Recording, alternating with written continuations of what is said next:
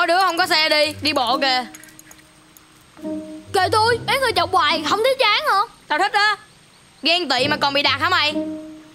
Lên xe đi, anh chở cho nó thèm. Xe bị gì rồi? Ê, thằng kia, Lại sửa xe cho tao coi. Xe tôi bị hư Tôi bị tự sửa Mắc thì cứu tao. Mày với mẹ mày là giúp việc nhà tao. Tao là chủ, Kêu gì phải làm chứ? Dắt xe đi sửa coi. Tao không làm á. Tụi bay có ngon kêu ba tụi bay đuổi gì mẹ con tôi đi. Ngon đuổi đi.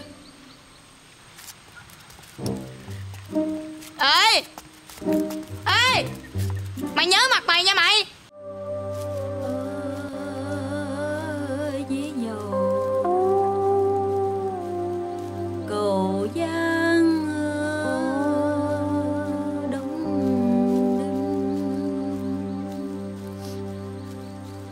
Chiếc cầu tre lắc lẻo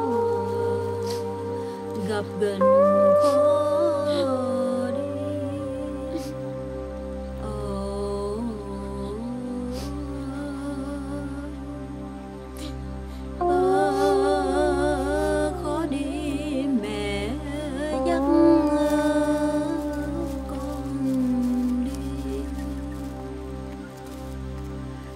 con đi trường học.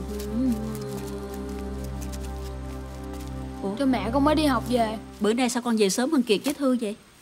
Dạ Hai tụi nó xe bị hư Cho nên tụi nó về sao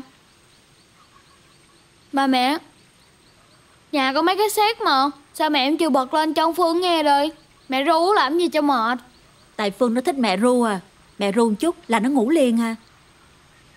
Nhưng mà đó là bài hát của con với mẹ Con không thích mẹ ru cho nghe hoài đâu. Em nó còn nhỏ mà con.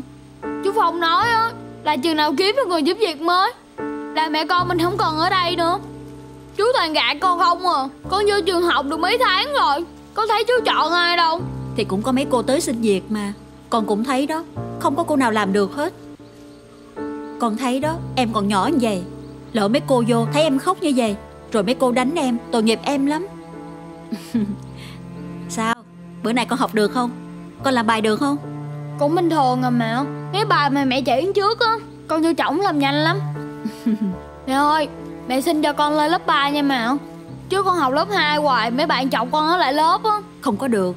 Không có học dược được. Con đừng có buồn. Bây giờ con cứ lo học tốt đi. Các bạn thấy khả năng của con sẽ không còn chọc con nữa. Dạ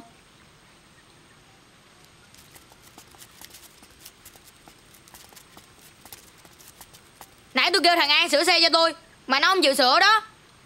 Ủa xe tôi bay hư Thì tụi bay tự sửa Mắc gì kêu tao? Tại mấy người là người giúp việc nhà của tôi. Bây giờ nó không chịu sửa đó Bà lấy xe tôi Dắt đi sửa nhanh đi. Nè xe của tụi bay hư Mắc gì kêu mẹ tao? Thôi mấy đứa đừng có cãi nhau nữa. Vô rửa tay ăn cơm đi. Còn xe để đó chút gì đem đi sửa cho. Mẹ Xe của tụi nó chạy hư Cho tụi nó tự sửa đi. Mẹ sửa làm gì? Để chút mẹ đem đi sửa sẵn mẹ kêu thợ kiểm tra lại luôn chứ kiệt nó biết gì đâu mà sửa hả con? Mẹ thằng Bính nó không? Bà là giúp việc nhà tao Nói phải nghe thôi. Ờ